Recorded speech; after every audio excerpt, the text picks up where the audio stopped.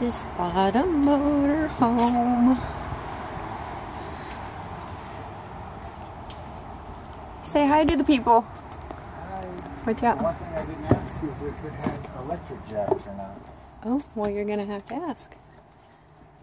Cheesy TV. Have to put our TV in it.